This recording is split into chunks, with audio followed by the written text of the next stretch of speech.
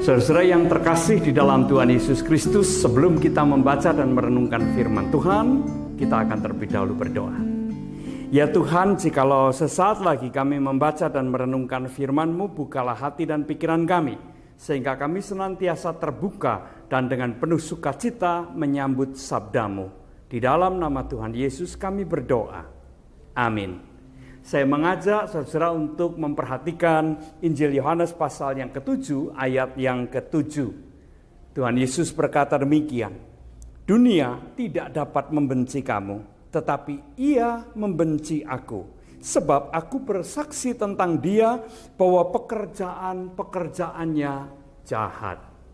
Sesuai yang terkasih dalam Tuhan Yesus Kristus, jikalau kita membaca perikop ini secara keseluruhan, kita akan mengetahui bahwa Tuhan Yesus menghindari perjalanan menuju ke Yudea. Kenapa demikian? Karena musuh-musuh Yesus sedang merancang untuk membunuh dia. Dan Tuhan Yesus mengatakan, waktuku belum tiba. Oleh karena itulah ia tidak menuju ke Yudea atau Yerusalem. Melainkan ia berjalan berkeliling di Galilea. Kenapa para musuhnya ingin membunuh dia? ingin membunuh Yesus, seperti yang dikatakan oleh Tuhan Yesus, mereka membenci Tuhan Yesus karena apa? Karena Tuhan Yesus bersaksi bahwa pekerjaan-pekerjaan mereka adalah jahat adanya. Tuhan Yesus berkata apa adanya. Tuhan Yesus berkata dengan sejujur-jujurnya bahwa apa yang musuh-musuhnya lakukan, apa yang musuh-musuhnya rancangkan adalah kejahatan. Sesuai yang terkasih dalam Tuhan Yesus Kristus, kejujuran tidak selalu menyenangkan. Sekalipun tentu setiap kita kalau ditanya apakah jujur itu sifat yang baik, kita akan mengatakan, oh jujur itu sifat yang baik. Dan setiap orang mestinya memiliki kejujuran. Tetapi tidak jarang ketika kita mendengar kata-kata yang diungkapkan dengan jujur tentang kita, itu belum tentu menyenangkan kita. Kejujuran bahkan kadang-kadang menyakitkan kita. Karena ia berbicara apa adanya tentang diri kita.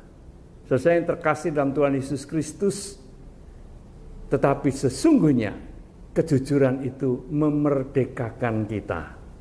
Kenapa demikian? Karena dengan kejujuran itu kita diajak untuk melihat diri kita, kehidupan kita, bercermin diri.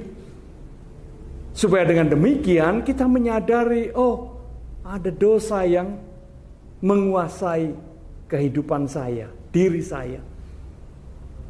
Dan oleh karena itu, kejujuran itu mestinya membawa kita pada pertobatan.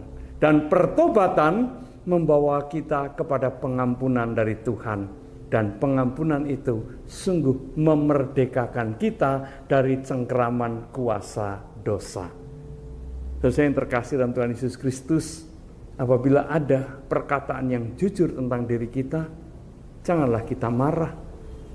Bersyukurlah, karena ada yang mau menyatakan sesuatu yang jujur tentang diri kita banyak orang yang lebih memilih ketidakjujuran tapi menyenangkan hati.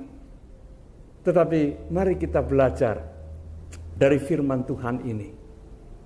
Belajar untuk menerima kata-kata yang jujur sekalipun mungkin itu tidak menyenangkan kita. Membuat kita tidak nyaman. Tetapi percayalah itu bisa membawa kita pada pertobatan, pengampunan dan kita dimerdekakan dari kuasa dosa. Tuhan bekerja melalui siapa pun yang berbicara jujur kepada kita. Amin. Mari kita kembali berdoa. Ajarkanlah kepada kami ya Tuhan untuk terbuka menerima kata-kata yang jujur sekalipun itu tidak menyenangkan hati kami. Biarlah kata-kata yang jujur itu kami sambut sebagai kata-kata dari Tuhan sendiri yang hendak membebaskan kami dari kuasa dosa. Meteraikanlah firman-Mu dalam hati kami Tuhan. Dan terima kasih untuk firman yang boleh kami renungkan. Di dalam Kristus kami berdoa. Amin.